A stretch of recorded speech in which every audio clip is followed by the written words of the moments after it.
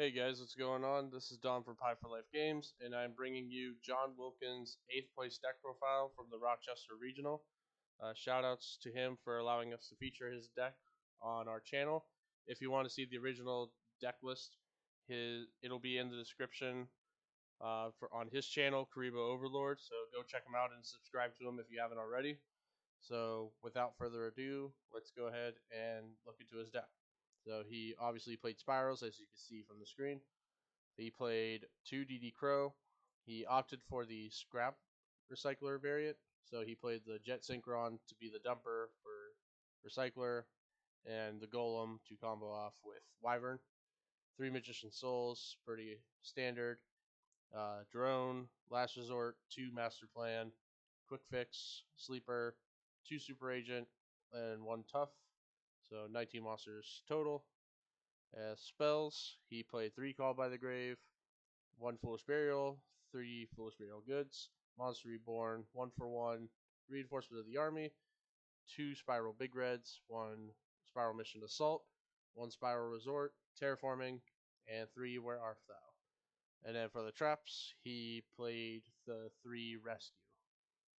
So for the extra deck, he played Trigate Wizard, Scrap Wyvern, two SPYRAL Double Helix, Link Karibo, the Nightmare package of Unicorn, Phoenix, and Cerberus, IP Masquerena, Curious, Foral Sword, Barricadeborg Blocker, Apollousa, uh, Recital Starling, and Abyss Dweller.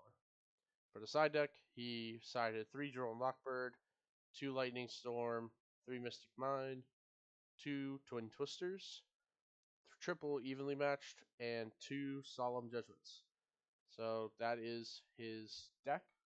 Um, congratulations, John, on getting eighth place on your grind for Worlds points.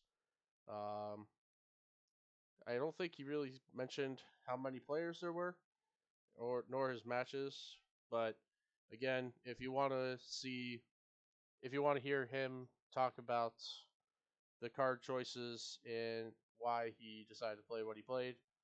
Uh, go check out his deck profile on his channel. And that is going to be it for this video. So if you enjoyed, please leave a like and subscribe if you haven't already. And this is Dom from Pie for Life Games signing out.